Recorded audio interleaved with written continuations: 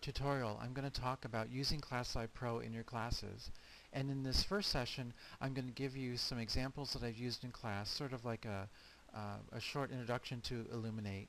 And, and then I'm going to show you how, how powerful the software is in helping students learn. And that you can share your desktop, you can show them software, you can shoot video and as well as, as uh, audio and interact with your students. So Elluminate is what we call uh, we call actually ClassLive Pro at National University. And Elluminate's been around for five or six years now. It's a very powerful tool, very well used. We're up to version 9.6 now in uh, National University. And how we utilize it is in our core shells. So this here we are in August of 2010. We've had an upgrade to our shells at National University. So here is my core shell for my NSG 322 course, uh, statistics class that I taught in July. And of course we have new tools up at the top now, so we have course administration and settings. I'll show you how to use some of these in a later session.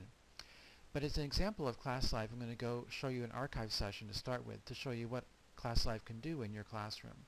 So to get there, we click on the Live tab. And this is the same tab that will bring us our chat sessions if we're using those as well. I've disabled them here because I don't use chat. I use ClassLive Pro exclusively in this class.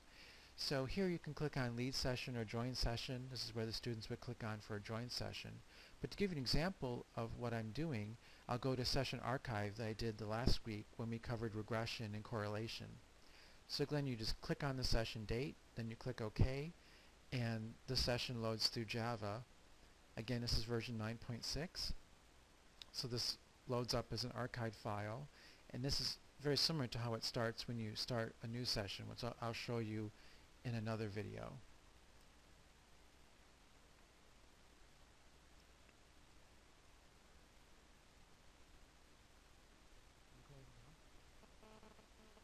Okay, so in this archive session you can see what ClassLive is all about. So what's nice is it gives you this chat area. So if you've been doing chat, this is the same thing. You can chat back and forth with your students.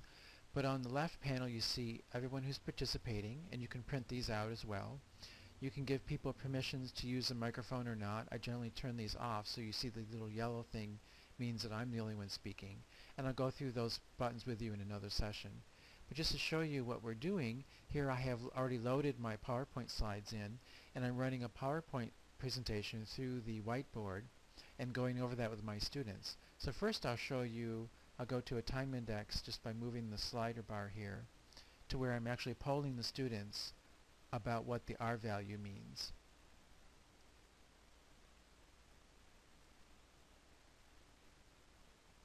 So I'll go there. A, B, or C there. Go ahead and vote. Do you think it's A, our null hypothesis is that uh, R equals uh, 0, that there is no relationship? Uh, B, R equals R is not equal to 0, that there is a relationship? Or is our null hypothesis C, R equals 0.5, there is a weak relationship? So go ahead and press A, B, or C. So now the students are going to go ahead and vote. Again, just press A on the keyboard. We've got two, three votes for A. Some people are waking up. Okay. And I can publish the results out. And everybody's giving A. Right, it's A. So here our null hypothesis is going to be that the correlation is zero, but there's no relationship.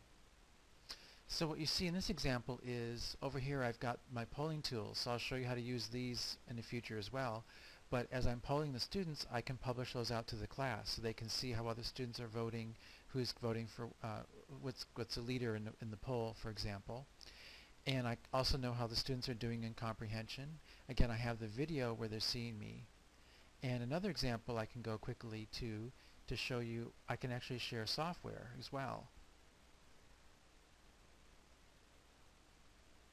And here I'm showing them how to use Excel.